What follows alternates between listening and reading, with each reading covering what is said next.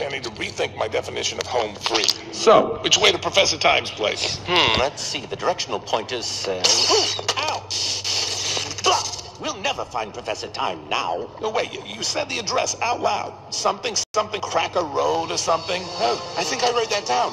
9297 Polly Parkway. Oh, Polly wants a cracker, Cracker Road. That's how my mind works. 9297 Polly Parkway. It's right down here. I know these sewers. You know these sewers? Don't get me started. Come on. Raccoon.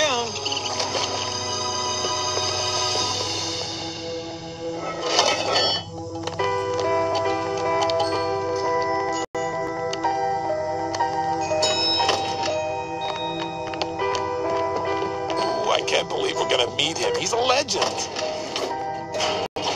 Well, he will be. A legendary inventor and brilliant innovator. If anyone can help us, he can. Hello? Mr. Professor Time, sir?